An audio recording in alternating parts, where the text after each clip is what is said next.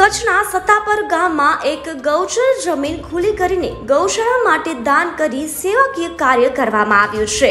ગામમાં સચિદાનંદ સંપ્રદાયના મહંત ત્રિકમદાસજીએ ગ્રામજનોને ગૌચર જમીન ખુલ્લી કરવાનું આહવાન કરતા ગામ લોકોએ સર્વાનુમતે ગામની પાસે આવેલ રોડ જ અગિયાર એકર જેટલી જમીન કબજા મુક્ત કરીને ગૌચર સેવા માટે દાન કરી છે. આમ સત્તાપર ગામની ગૌપ્રેમી જનતાનો આ નિર્ણય સરાહનીય છે.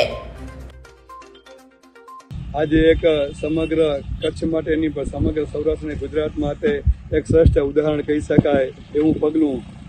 જેને કહી શકાય એટલે સત્તાપર ગામમાં, જે ગોપડું ગામ કહેવાય છે, એમાં એક અલગ દિશા જેને નવથી દસ એકર જેવી જમીન, જે સેંકડાઓ વર્ષોથી જે જમીન રહેલી હતી અને પોતાના, જેને કહેવાય ને ખરા તરીકેનો ઉપયોગ કરતા હતા. એક, બે નહીં, પાંત્રીસથી ચાલીસ જણા અલગ અલગ માલિકો હતા.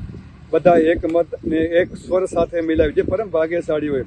એકે સાથે એકે જ અવાજે પોતાની જે જમીનો હતી, જે પોતાના ખરાબ હતા, વડીલોના દાદા બાપ દાદાના એ ગામને અર્પણ કરી અને ગૌશાળા માટેની જમીન લગભગ નવ, દસ એકર, એટલે આજની રોડ ટચ એટલે કરોડોની કિંમતની નીકળ્યા એક કોઈ પણ પૈસો લીધા વગર, કોઈ પણ હાનાકાને હોય, એક જ વખત એક જ આંગળી ઊંચી કરી ને પાછી દસે દસ એકડ ગામની ગૌશાળા માટે અર્પણ કરીએ છીએ, ગૌચર જમીન મુક્ત કરી છે ખરેખર એક શ્રેષ્ઠ ઉદાહરણ કહી શકાય. આ રીતના આવી રીતે ગામો ગામ થવું જોઈએ સેમ કે ગૌચર જમીન રાખવાથી, જેને કહેવાય નરકમાં પણ એને વાસ ન મળે.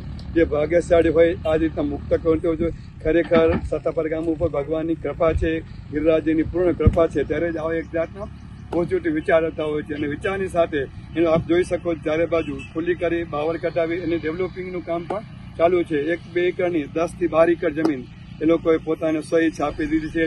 ભગવાન આવી બધાને સદબુદ્ધિ આપે અને આવા ને આવા કાર્ય સમગ્ર દેશમાં થતા રહે તો સરકારની પણ મહેનત ઓછી થઈ જશે. ખૂબ ખૂબ હૃદયપૂર્વકના આશીર્વાદ. હૃદયપૂર્વકના જય ગો માતા, જય ગોપાલ, જય સચિદાન. રાધે રાધે.